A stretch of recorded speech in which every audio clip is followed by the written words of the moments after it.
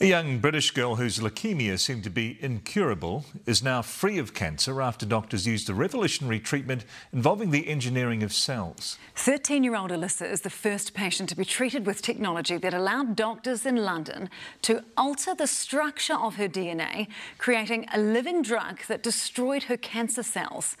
Europe correspondent Lisette Reymer reports.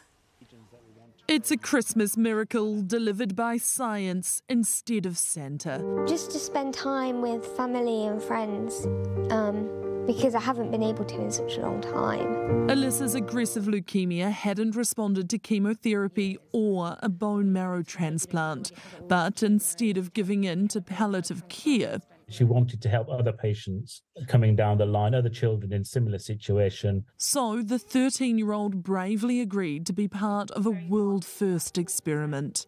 Alyssa is, to my knowledge, the first human patient to receive a base editing therapeutic. There is nothing basic about base editing. Scientists take cells from a healthy donor and adapt them to hunt down and kill cancerous cells.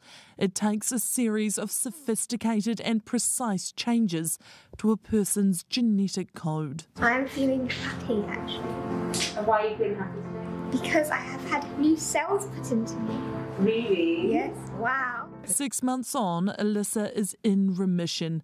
Her doctors are shying away from the word cure, but are happy to call it a breakthrough, not just in regards to her cancer, but a range of diseases. It's really an amazing time in, in science and medicine where the age of human therapeutic gene editing is here. Correcting the misspellings in our DNA and rewriting the life stories of Alyssa's everywhere. In London, Lisette Reymer, News Hub.